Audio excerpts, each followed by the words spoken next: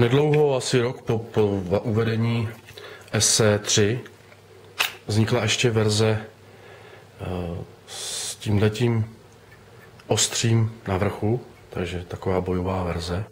Já jsem si původně myslel, že je falešný, ale ona je normálně ostrý, to ostří.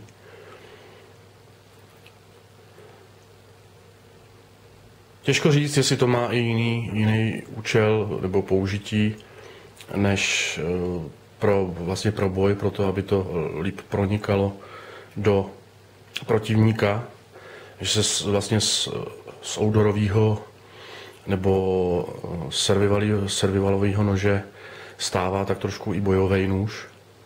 Určitě by to pomohlo třeba lovcovi, protože ten potřebuje taky proniknout kůží, tak snadnějc.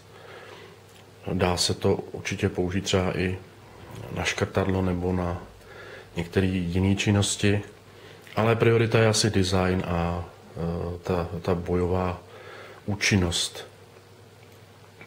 Designu to samozřejmě taky prospělo, protože to vypadá zajímavě.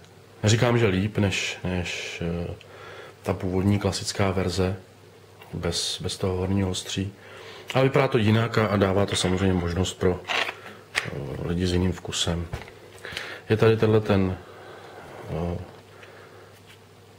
plát s klipem a ten dvojitý klips, tuším mole, co tomu říká.